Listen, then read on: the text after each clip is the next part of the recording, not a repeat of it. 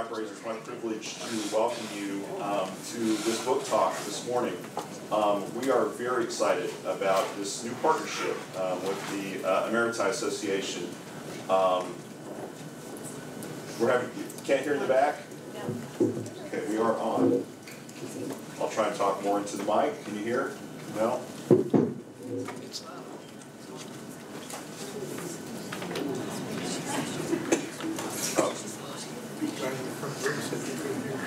That's, you found the volume. Is that, is that better? Yes. Okay. Yeah. I'll turn this a bit more. It's irritating. Gotta remember, get a bunch of folks in. Um, we are, we're very excited about, um, this partnership with the Emeriti Association. Um, we, uh, certainly are interested in reaching out to our friends and supporters in the community, and, um, so this, this, this relationship is, is really special to us. We're very happy to have, uh, this event here today.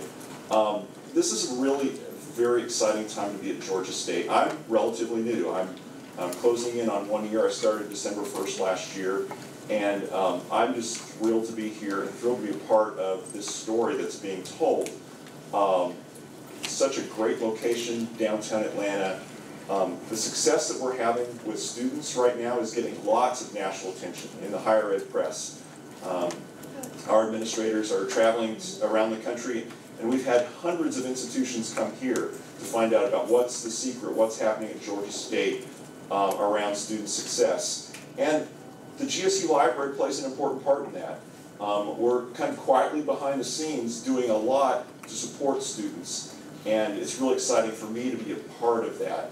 Uh, we have more than 400 workstations, we have 100 laptops, we provide access to a world of information resources, and those are the tools that the students are using as they are being successful here at Georgia State. Um, so successful that we're kind of overwhelmed by the numbers. Um, just, just looking at the st- statistics, last month we had 23,000 unique visitors. In a, in a day, we might have 11 or 12,000 people enter the library. So um, we're in the midst right now of doing some master planning and saying, what does the future of the facility look like? We know we need to provide more space for our students. We also are an important part of supporting the s- research success that's happening here, the scholarship that's happening. Um, the number of dollars that the institution is bringing in in external funding has more than doubled in the last five years. And the scholarship that's being produced here is remarkable, and we're going to get a taste of that this morning. Um, so welcome, so glad to have you here, and now I get to introduce Lauria Kanata, who is the librarian for the Ann Young School, to introduce today's speaker.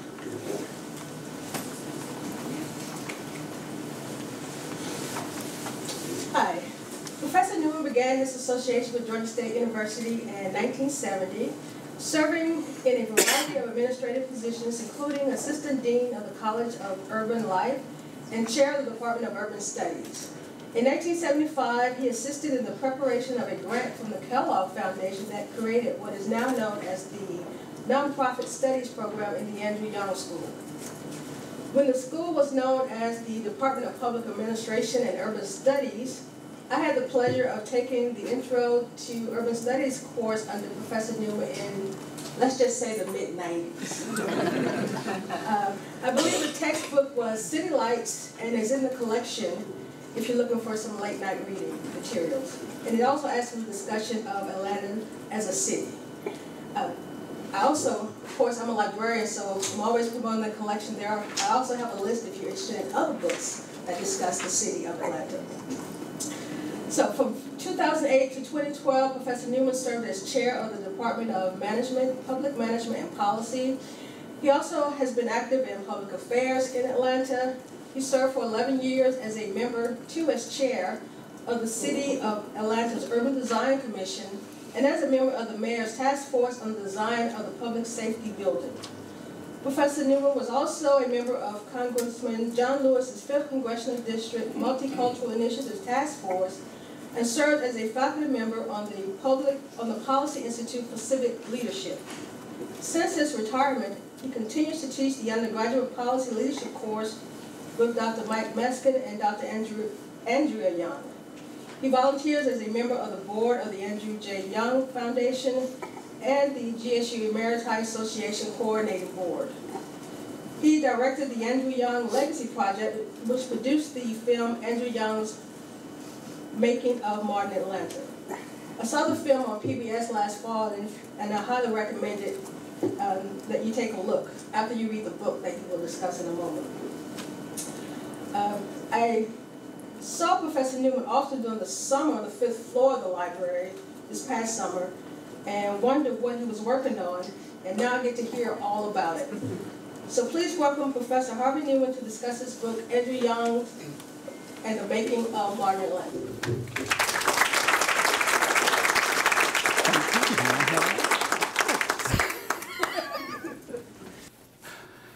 Thank you so much, Leloria, and it is such a pleasure to be with you this morning.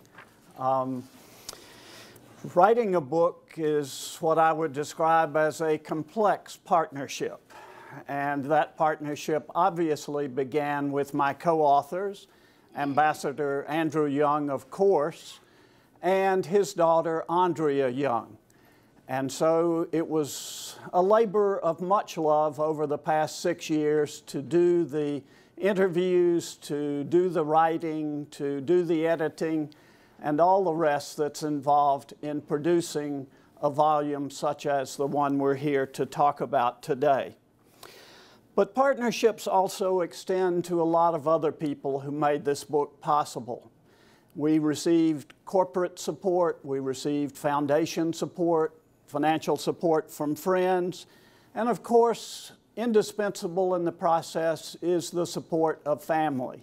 Um, my wife of 48 years, Patricia, is here, and I would acknowledge to everyone that this book would not have been possible without her.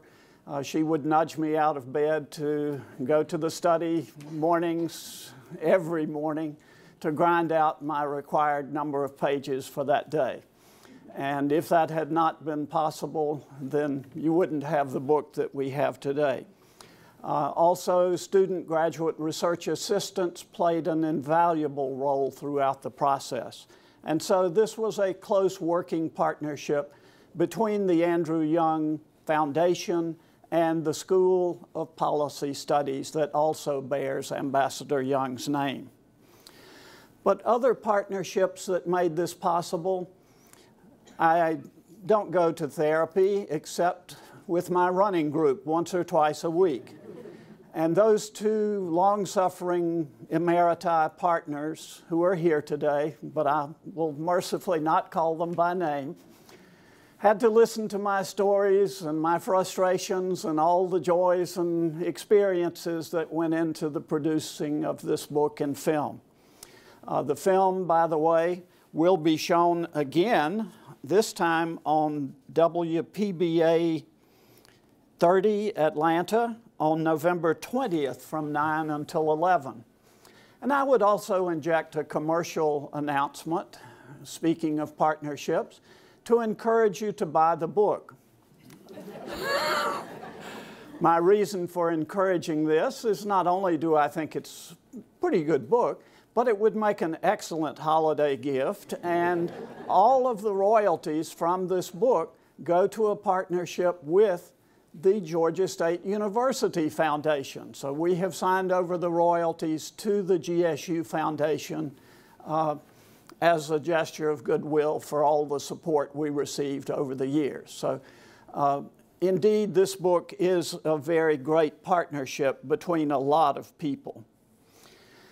I mentioned Andrew Young because he is very much the focus of this book. Andrew Young is a master storyteller who talks in this book about his transition from rabble rouser, civil rights leader, to public official. And this transition throughout his career is a reflection of his remarkable leadership skills. As Leloria mentioned, I have been teaching a leadership course in the Andrew Young School for the past 15 years. And one of my definitions of leadership is the ability to attract and to inspire and retain followers. And by that definition, Andrew Young is a remarkable leader. We had a book event a couple of weeks ago now, and a couple that we had interviewed came up to me and they had their copy of the book in their hand and they waved it in my face and said, You made a mistake on page whatever. And I said, Oh, really? What was it? Please tell me. You said we met him in 1970. No, we met him in 1964. so the next printing is going to have to correct that. But indeed, when he first ran for the U.S. Congress in 1970, he began to make friends and followers who've continued to follow him to the present day. And these followers of Andrew Young have even adopted a name for themselves, Youngdom. And so I stand here before you as a recent addition to the followers of Andrew Young, Youngdom. But the book that we're here to talk about is the story of his contributions to the public life of our city of Atlanta, Georgia, and its transition from a sleepy little southern town with segregation and fewer than a million people. Uh, we didn't reach that threshold until 1960 to a metropolitan area that's now among the top 10 largest metropolitan areas in the U.S of six and a half million people, I'm told. And the making of the city that you see spread out before you today is indeed the story of Andrew Young and his predecessors and those that he helped mentor to make this city what it is today. And one of the places that we began in the book is with a rather interesting bit of reflection about Atlanta, Georgia. If you think about it, there's no compelling reason for Atlanta to exist as a city. It's not on a lake, it's not on a riverfront or a port, and most cities throughout human history were built on a waterway. And yet, we have no navigable waterway. We were instead built after the availability of new railroad technology, the so called rivers of steel, as our early civic leaders described it. But railroads and transportation took the place of the waterways that had caused cities to come into being in previous times. But it's an interesting thing to think about that what has created Atlanta, Georgia, is a series of very committed leaders who cared about making this city what it is and always aspiring to be something that we weren't. When we were a sleepy little mud hole in the 1840s and 50s, leaders set their sights on becoming an important place in the state of Georgia a dream they didn't achieve until after they became the state capital following the Civil War. Then they set their sights on becoming a city of importance in the region, and it took a series of three cotton expositions in order to achieve regional prominence. And then early in the 20th century, they said, we can make this place a city of national importance. It took us until the 1960s and the leadership of then Mayor Ivan Allen to achieve that dream. And then, no sooner had we done that, in 1970, I happened to be here and was watching the local news one evening, and our mayor at the time announced we were going to be the world's next great international city. And I admit, freely and willingly, I rolled on the floor laughing in the living room. The very idea of Atlanta being an international city was crazy to me. Was I wrong? And the reason I was wrong is because I underestimated the leadership that this city would have, the leadership that sought and achieved an Olympic bid, then put on the Olympic Games in 1996 that forever stamped us as a place to be taken seriously on the world stage. So we are a city that has always wanted to promote itself as a place of importance and having a willingness to roll up our sleeves and work hard to make those dreams come true. And that's a remarkable transition in just a few short decades from sleepy, segregated southern town to the international place that we enjoy today. And that is the story of Andrew Young and the making of modern Atlanta. And throughout the book, what we discovered from our earliest conversations is that everyone spoke of a distinctive Atlanta way, a way of doing things in this city that was somehow different from the way business was conducted in other places. And so, in more than 60 interviews, and by the way, the partnership that uh, we've established with this university and this library will continue as all of our archival materials are being turned over, both our audio and video interview footage, so that future generations of scholars who want to know about how we came to create this city will have access to this material. But we ask each one of our more than 60 audio interview subjects, what is the Atlanta way? And we began to get answers along this line. It was a partnership, a coalition between elected public officials of the city of Atlanta and business leaders and African American citizens in this community. And this partnership is attributable to a remarkable mayor, William B. Hartsfield. Mayor Hartsfield is the city's longest serving mayor, and although he was a rather paternalistic um, segregationist and a lot of other things, he was also a very astute politician.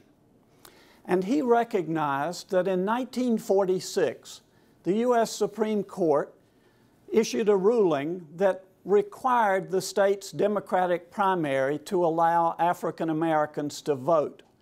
And it resulted in what he knew would be a new wave of citizens participating in local elections.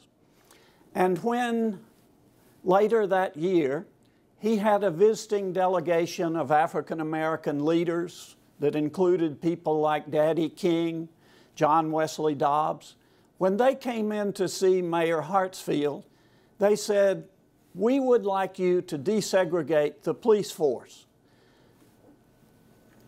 Police brutality had been an issue in this city for many, many decades, and this was seen as an opportunity to change the pattern of behavior by the city's police force by hiring African American officers. In 1946, this was not to be thought of in the South, in any other place. And rather than reject this question out of hand, Mayor Hartsfield issued a challenge. If you will register 15,000 voters, I will hire African Americans on the Atlanta Police Department. Two years later, 1948, they came back for another visit with the mayor this time he said, What have you done? And he said, The leader said, We have registered 18,000 voters in this city in less than two years' time. Mayor Hartsfield kept his part of the bargain and hired eight African American police officers. There was a lot wrong with the picture, and we don't deny that. But when you stop and think about it, it was more than 20 years before another major city in the Southeast hired African Americans on their police force. And this was a symbol of the Atlanta way, the way in which African American leaders expressed their needs and their desires, and the way public leadership responded to that with the cooperation of the city's business leadership. It's a coalition of people who were able to get things done. The desegregation of the police department was merely the first step. From that day forward, this Atlanta Way coalition was able to build new airport terminals, new airport runways to keep us ahead of transportation needs of this city in this region. The old joke that to get to heaven from Birmingham you have to change planes in Atlanta certainly summed up the way our neighbors to the west felt about our airport in Atlanta.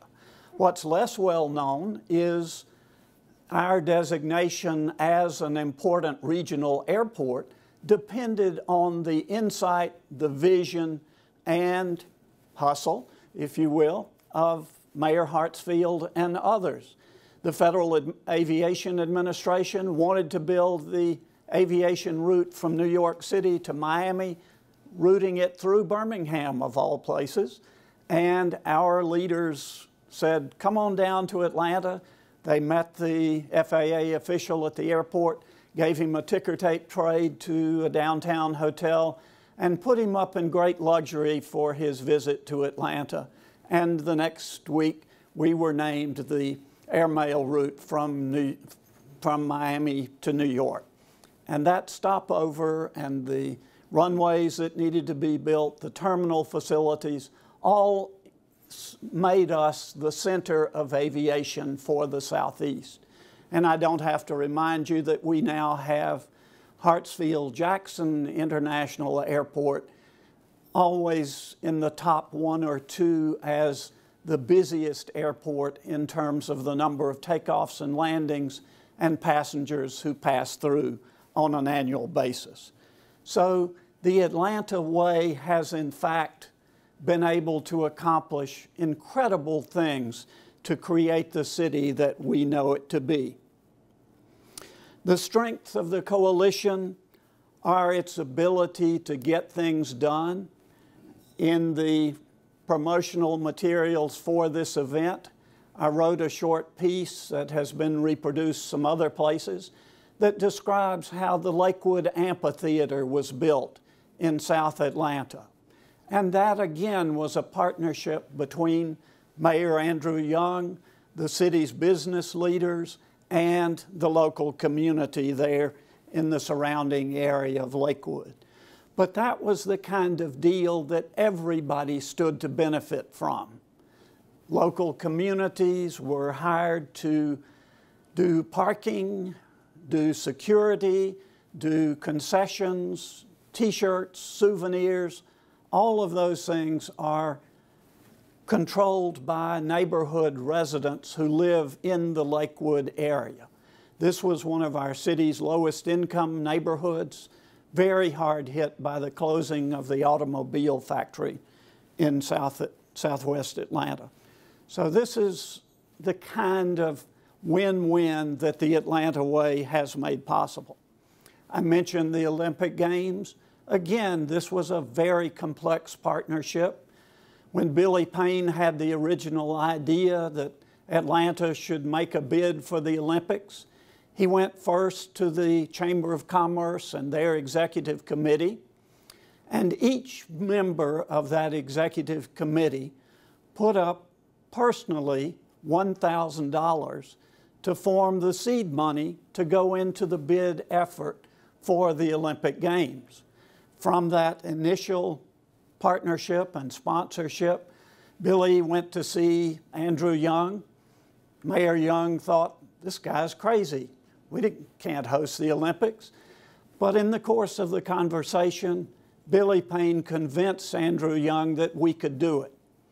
And how it was done is a story that I enjoyed telling in the book that we're talking about and celebrating today. And one of the things that we observed about this Atlanta Way and this long-standing black-white coalition in our city is that it's a process that must be reformed and maintained over time. there is no guarantee at any moment that this Atlanta Way coalition will be able to continue. And so, over the course of the city's history, there have been a number of challenges to the Atlanta Way. The election of Maynard Jackson in 1973 is certainly one of those events that posed a challenge to the traditional way of doing things in the city of Atlanta. When Ivan Allen was mayor of Atlanta, when his predecessor Bill Hartsfield was mayor, if a business leader, predominantly white at that time, wanted something from City Hall, all he, most of them were men at the time, had to do was pick up the telephone and contact the mayor, someone they had known all of their lives. And that personal relationship was missing when Maynard Jackson was elected mayor. He was not one of the good old boys, and very quickly he let it be known that the old ways of doing business that had defined the partnership would be very different from that point forward. And so, when he got ready to build the expansion of the airport, the new terminal building, and so on, he said to the business community 20 to 25 percent of every contract involved in this airport will be given to minority or joint venture contractors. When he took office in 1974, less than one half of 1% of all the city's contracts in a majority African American city, less than one half of 1% went to minority contractors. And he said this just is fundamentally unfair. And so this was something he was determined to change. We didn't even have a term for this process, and he used the term minority business development. We didn't have affirmative action until a few years later. But what he insisted upon, the business community thought was not going to work at all. And he was not just talking about moving dirt on the runways or paving contractors.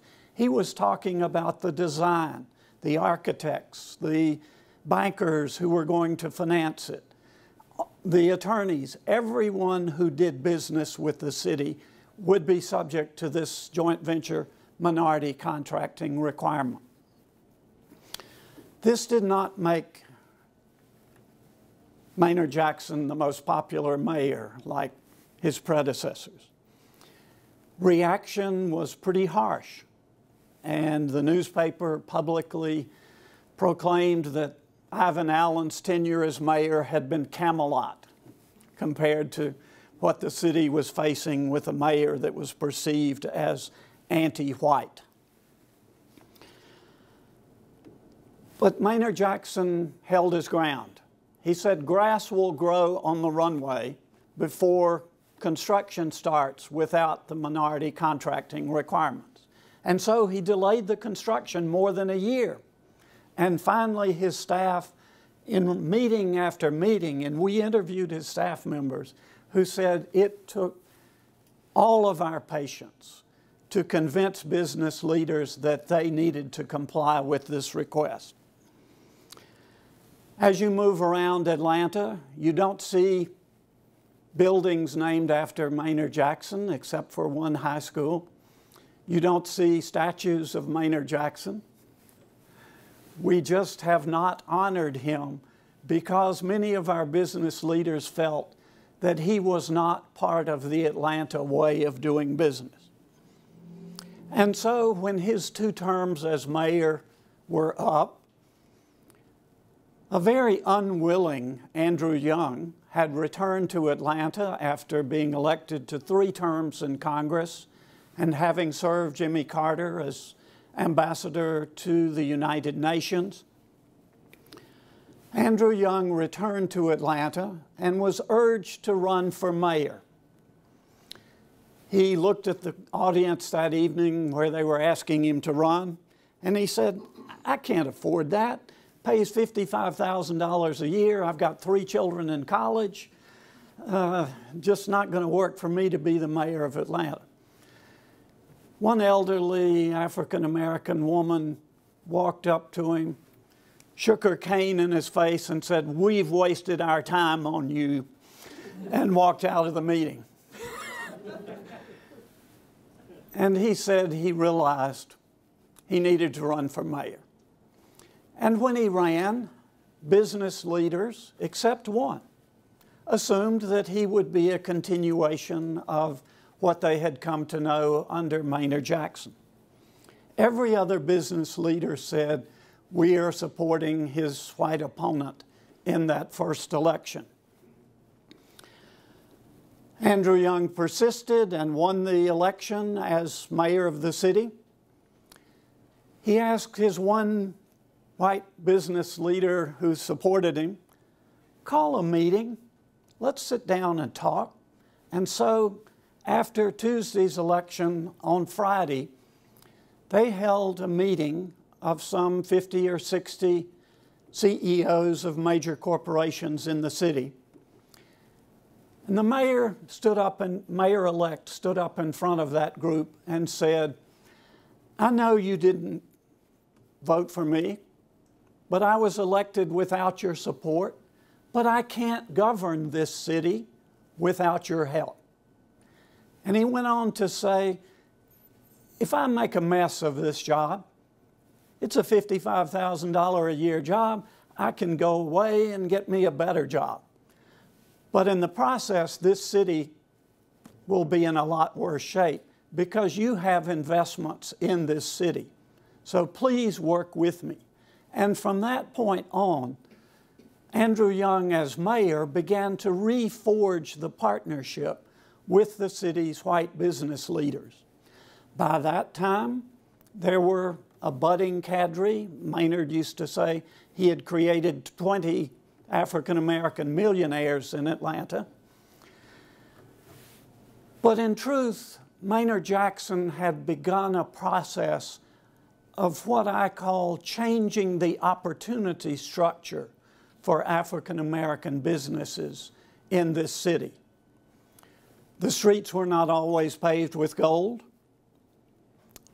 And as we'll talk about in a minute, there were problems with the Atlanta Way in always doing the things that they should or the things that they wanted to do. But nevertheless, Maynard Jackson deserves an enormous credit for being willing to take the criticisms, to forge ahead on a path that he knew to be correct. When Andrew Young took office, he said, Oh, by the way, the minority business employment requirement will increase to 35%. People didn't object. By then, eight years after Maynard Jackson had introduced it, this was part of the Atlanta Way now. And so it became a much more acceptable way of doing business. When the Olympic bid was approved, the minority contracting requirement went up to 40%. This time the business leaders, white business leaders says, enough, that's way too much. Andrew Young looked at them and said, 60% of a growing pie is better than 100% of nothing. And they were convinced they could settle for 60% of a growing pie in a growing city. So the Atlanta Way has been helpful in not only expanding economic opportunity for all citizens or most citizens in Atlanta, but it has been able to get things done in Atlanta, Georgia. But I would be remiss if I didn't say there weren't weaknesses in the Atlanta Way and the coalition that has made things possible. First of all, it's not always easy to include low income citizens. Um, I have spent much of my professional career working with low income neighborhoods in the city of Atlanta and helping them with their economic development programs. And I confess, Ambassador Young and I joke about it. I never supported any of his programs for the eight years that he was mayor. We disagreed on almost every policy matter that he put forth. But I also add, I voted for him twice because he was a great human being. And I had respect and admiration for what he was trying to do. Now, with the benefit of many years past, I have a somewhat more positive appraisal of why he was doing what he was doing when he was mayor of our city. He didn't have the financial support from the federal government that has existed during the 1970s. I tell him the story that when I was hired here early in the 1970s, one of my first jobs was to write grant proposals for the School of Urban Life. And I, every grant proposal, we'd send it to Washington and they would fund it. And so I thought I was God's gift to grant writing. I never had one turned down until I sent one to City Hall when Andrew Young was mayor, and I learned rejection. And I learned later that the spigot of federal aid from the federal government directly to cities had run out around 1980, about the time that Andrew Young was elected. And as a consequence, he had to look for other sources of revenue to support the programs that were important to the city. And that was very difficult to do at the time. One of the other things that I would say about the Atlanta Way, and it is a subtext in the book, is that there are complex social problems that affect our city that the Atlanta Way is not particularly good in solving. One of those that is discussed throughout this book is the reduction of poverty. We simply have not been able to reduce or in any way move toward the elimination of the large percentage of our population in the city of Atlanta who live below poverty standards. Again, I would go back to the phrase that I used Maynard and Andrew Young changed the opportunity structure of the way of doing business with the city. It enabled many, many more African Americans and other minorities, including female owned firms, to do business with the city. And this provided many, many jobs for many, many people. But it also made Atlanta a magnet for people who came here oftentimes without the education or the talent to take advantage of the expanding economy in our city. One of the other problems that we don't spend a lot of time discussing, but it's well known to most of you in this audience, I'm sure, is that the Atlanta Way has had a difficult time with public education in our city. Chamber of Commerce has tried to lend its support to improving the Atlanta public schools, and many of those efforts have not been successful. But in spite of the strengths and the weaknesses of the Atlanta Way, this is a book that tries to celebrate some of the successes that we have had as a city along the way. And one of the things that I found particularly delightful was interviewing leaders from Birmingham, New Orleans, and other cities and getting their reflections on Atlanta in comparison with their own cities. And what we heard over and over is that beginning with the Atlanta student movement in the 1960s, Atlanta solved its desegregation problems in a relatively peaceful fashion, particularly in comparison with either New Orleans or Birmingham.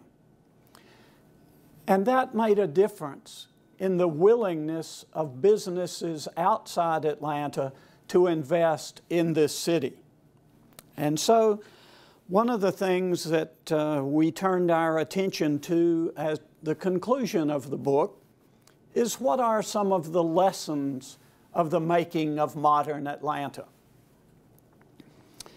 And as I said, each one of our interviews included that question what is the Atlanta way? And over the course of our research, we found that the city has what we call core competencies.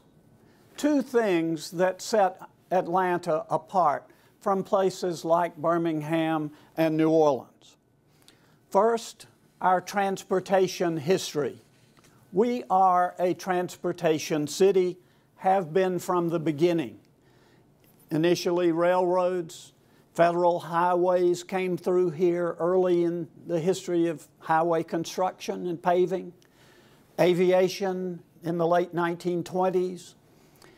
Now, transportation is including ideas as we become a center for CNN News and the development of the superstation by communications genius Ted Turner.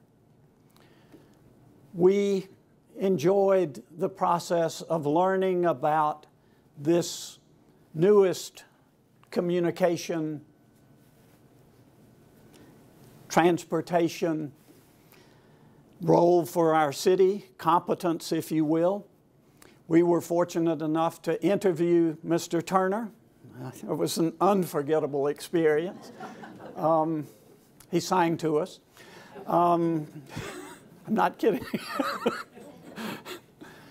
um, we asked him why he bought the Braves, and he said he'd have made more money if he'd bought the Yankees, and then burst into the theme song from Damn Yankees. So um, he's an interesting personality. We were also able to interview another person who has quietly helped the communications industry in our city to be a beacon of progressive influence on Atlanta and the Southeast. We sat down with one of the most gracious people I've ever met, Ann Cox Chambers. Um, she and her family, beginning with her father, own Cox Communication Company, which owns the AJC and so many other uh, communications and media outlets in this city. And hearing her talk about her father's relationship with Ralph McGill was an incredible story. Um, growing up in North Carolina, I was a huge fan of Ralph McGill because our local paper published his editorials every week. And people in Atlanta got to read them every day.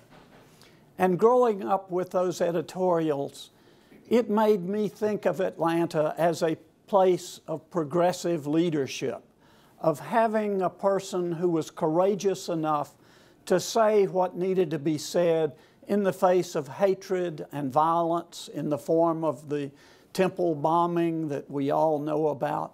These were the kinds of things that Ralph McGill's leadership as editorial writer for the Atlanta Constitution made possible. And so we have had two strong elements that we call core competencies that our city needs to continue to encourage and to cultivate. Transportation, not just of people and goods, but of ideas, and tolerance. We take very much for granted the contributions and the work and the life of Martin Luther King Jr.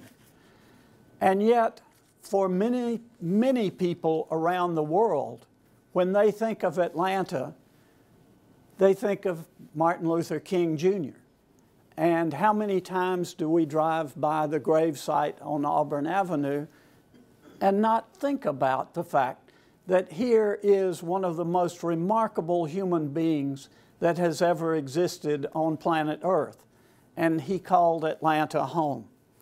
One of the remarkable interviews we had was with a woman named Emma Darnell.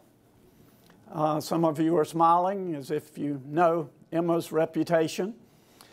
She served as the attack person for Maynard Jackson when he was doing, she was director of the Office of Contracts and Compliance.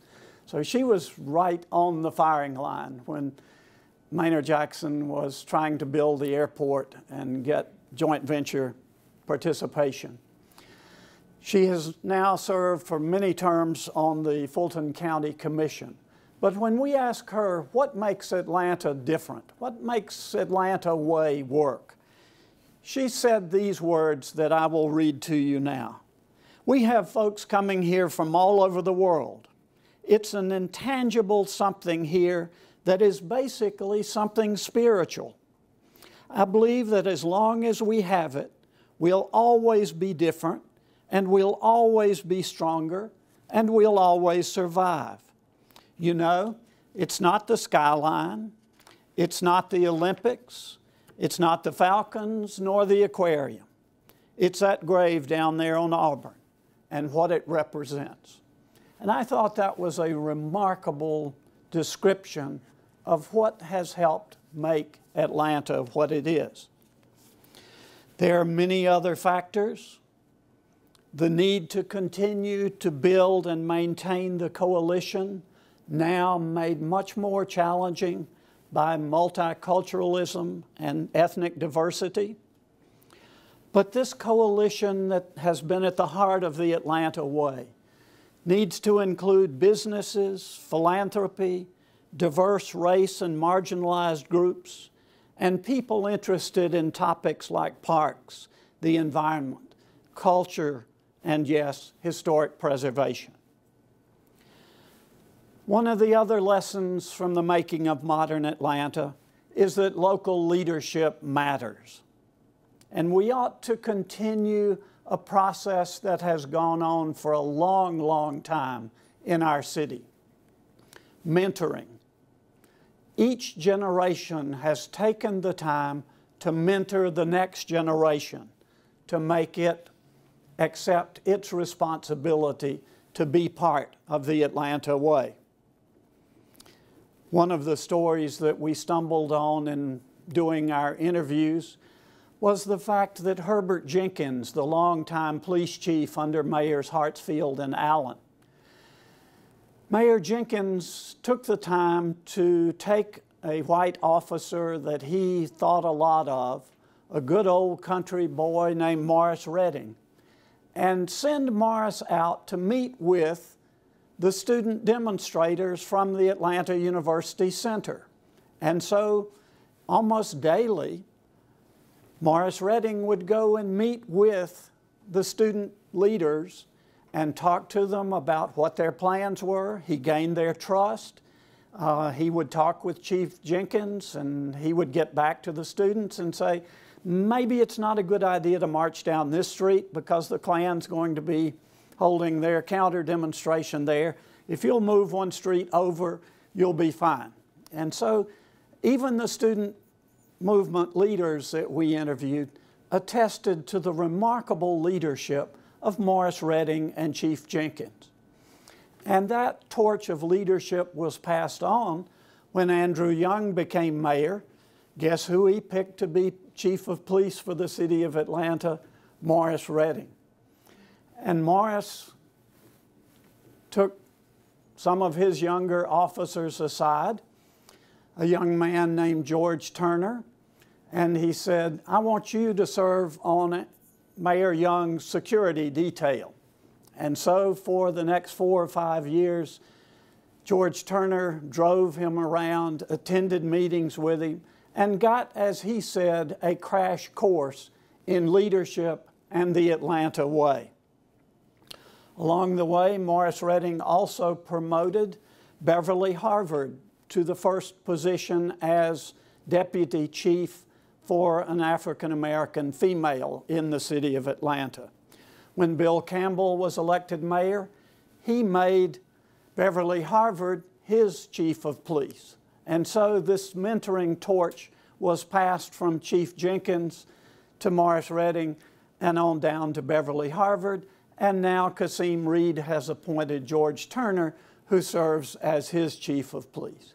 And so this process has worked not just at business organizations, but also in the political level and now in uh, civil servants who work for the city in a variety of capacities. And this process of mentoring is vital to the continuation of the Atlanta Way. Another lesson from the Atlanta Way is the need to pair economic growth with expanded opportunities for disadvantaged communities.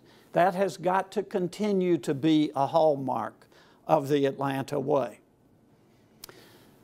When we did interviews, we not only interviewed the rich and the famous, but we interviewed people, frankly, I'd never heard of. And late one afternoon, we had done another interview or two that day, and I was tired, didn't want to do one more that afternoon. It was with a woman I'd never heard of. We went over to her office on the other side of uh, Hurt Park over there. We sat down. This was a wizened, elderly African American woman sitting behind a huge desk. Her name was Rita Samuels. And we got to talking with Rita. And she looked at me, kind of sensing that I wanted to be someplace else. And she said, How many people have you interviewed who came to Atlanta as a 17 year old girl from her hometown in rural Georgia and went to work as secretary for the Southern Christian Leadership Conference? And then, when Jimmy Carter was elected governor of Georgia, she went to work for the state of Georgia as a personal assistant for Jimmy Carter. And she followed him to Washington when he was elected president. And so she turned to me and said, How many folks do you know have worked for two Nobel Peace Prize winners? I said, You're it. and then we asked her the question What is the Atlanta way? And she thought for a second. She put her hands together and she said, the Atlanta way is connecting the right people. And I wanted to make that somehow the title of the book because that is exactly what has characterized Atlanta, Georgia. It's been an exciting six years working on this project. I'm delighted to be able to share the results with you. Be happy to entertain questions. Have I answered everything? Yes, sir. Do you have uh, Herman Russell in the group? Oh, yes. Herman has made invaluable contributions and is probably one of those 20 millionaires that Maynard Jackson helped to create. Now, one of the things that we do note is that before affirmative action was required with the city, Herman Russell had formed a partnership with John Portman to help the construction of Peachtree Center.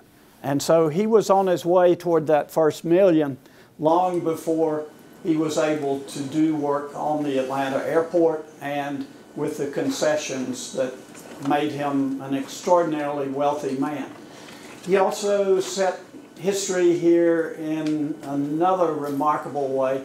He was the first African American owner of a professional sports franchise in America. He was part owner of the Hawks and Flames.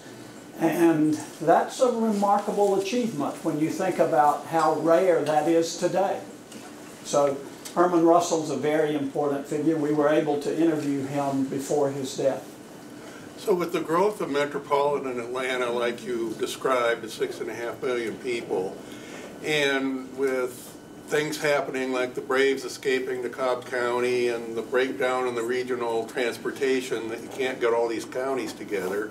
Is Atlanta, metropolitan Atlanta, too big for the Atlanta way to exist, to keep, to continue?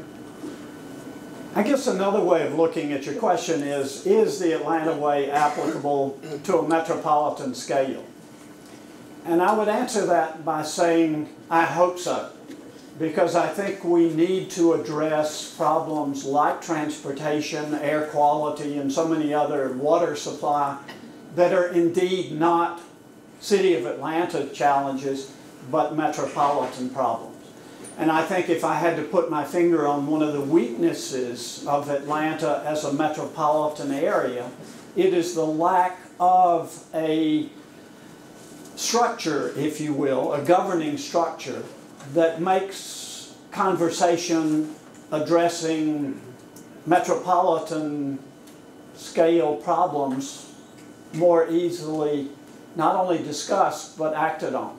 Um, two of my former students are sitting here on the second row. They've probably heard me talk about this because I've been talking about it in urban policy classes for many years. If you look at Johnson Ferry Road when it comes down out of Cobb County and crosses the Fulton County line, it goes from about eight lanes to what is it, two? And that's been a traffic bottleneck for probably long before you were students in my class.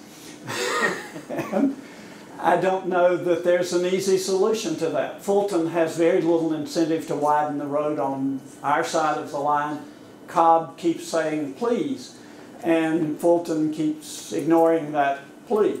And there is no umbrella avenue other than the state to really address that. So that's a challenge for the city, and, and quite frankly, I would say one of the things that poses a real challenge to us is that our core competence of transportation is one in which we are falling behind on.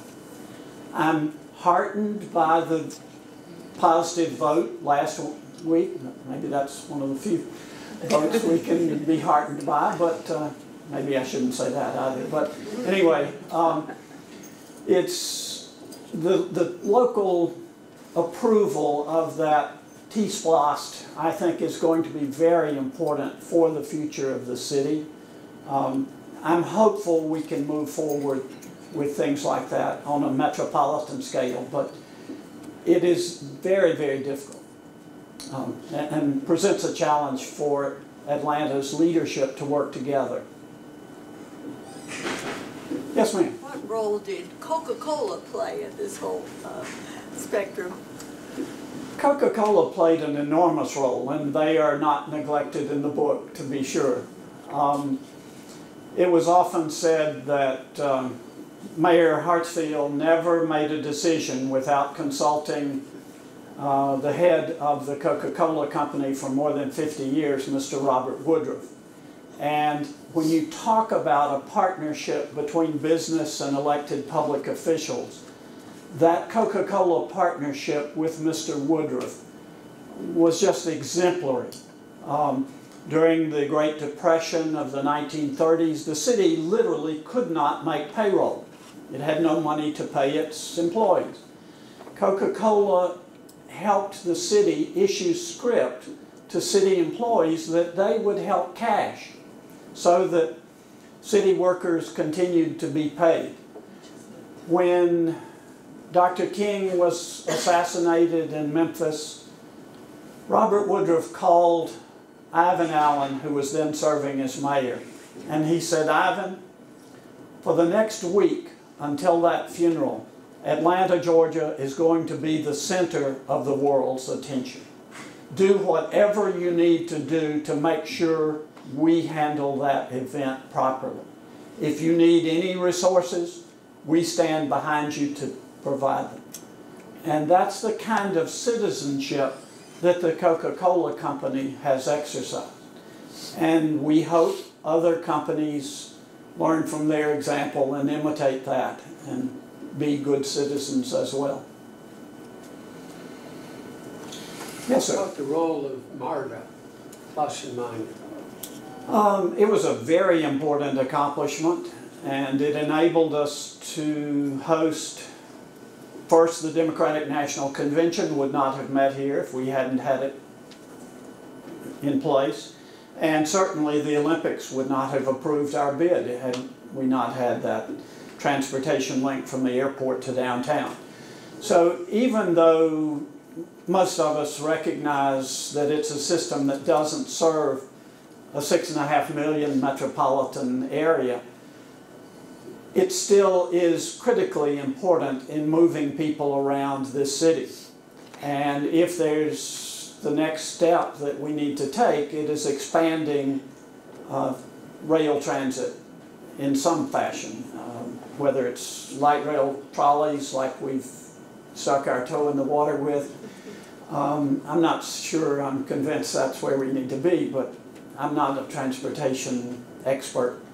But MARTA has played a really important role in the city's growth and development. And certainly, I haven't mentioned his name today, but Sam Massell deserves a lot of credit for being mayor and putting a referendum forward that was approved by the voters of DeKalb and Fulton counties. Um, Ivan Allen, for all of his leadership skills, failed when the first MARTA referendum was voted on. And Massell came forward and if, if we look back to the Massell tenure as mayor, those four years, one term, um, certainly we would have to say that the MARTA approval of that bond referendum was certainly a, a key step in our city's growth. He, he told a really funny story. He said he rented a helicopter and flew over the downtown connector during rush hour traffic. And he would speak on the loudspeaker from the helicopter saying, if you're tired of being stuck in traffic, vote for MARTA. he said the people in their cars thought it was God talking to them and they voted for yes, sir. You've dealt with poverty in poor neighborhoods in your career. When Flint, Michigan had their water problem, it was said that North Flint did not have any grocery stores. Is there, are there regions in Atlanta where neighborhoods have no decent grocery store? I think the term is food deserts, and yes, uh, unfortunately, some of the low-income neighborhoods in the city have those challenges. Uh, one of them is the area of Summerhill, um, which I'm amazed at how many people know neighborhood names and how many people don't. Summerhill is the neighborhood that immediately surrounds Turner Field. And one of the things that the neighborhood has consistently said, whatever you do when you redevelop Turner Field, we want a grocery store. and so I think that's a major initiative that needs to be built by this university and its partners as we move forward. The former president of Whole Foods is now devoting his life to uh, making grocery stores in poor neighborhoods. You might want to get in contact with Okay. him. Okay, that'd be a good, good suggestion. It has been a pleasure to be with you today, and uh, I see our host standing up, and that usually means he's ready to, for me to be quiet.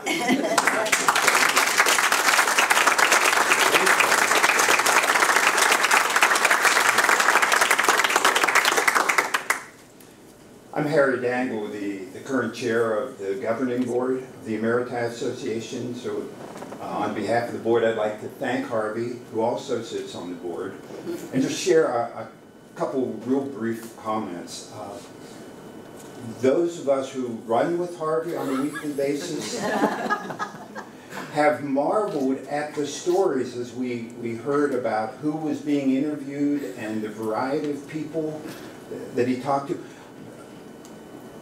you relieved a lot of pain because you took our minds off our legs and our lungs as we heard your adventures. Um, six years is a long time. But I'd like to reflect just real briefly because for most of us who have come out of an academic career, the contribution of this book is amazing. When you stop and think about it, an outsider could write a history of Atlanta but it wouldn't include the voices of the people who lived it. And some of those voices are already silent, many are fading away. And to have those voices and that resource in our library where future scholars can listen and hear the Atlanta way, I, I think is, is a critical gift -hmm. that you've given. And I couldn't help thinking about the university and looking at the students who were here attending the, the talk and the role that they and we have in moving the Atlanta Way further. Um, So, on behalf of the Emeriti Association, thank you, and we look forward one brief anecdote. So we were running yesterday, and Harvey said, no, I talked to a man who was the athletic director for Atlanta Public Schools. And what he tells is how when it was clear that segregation was ending, the coaches of school, high schools in Atlanta got together unbeknown to the authorities and kind of planned out how were we going to address having white schools and black schools compete against one another. And so there was a grassroots talking, collaborating, and working out some of those details, which when the day came, went much more smoothly. I, I think the, the moral of the story is there are, are parts of this that are still to be told, and more and more information to shed light on in terms of the Atlanta Way. Thanks for coming today. And uh, there are books available in the back, and you'll be available to sign books. So those of you who uh, feel that's something you want to do, Harvey will be in the back. They make great gifts. Thank you.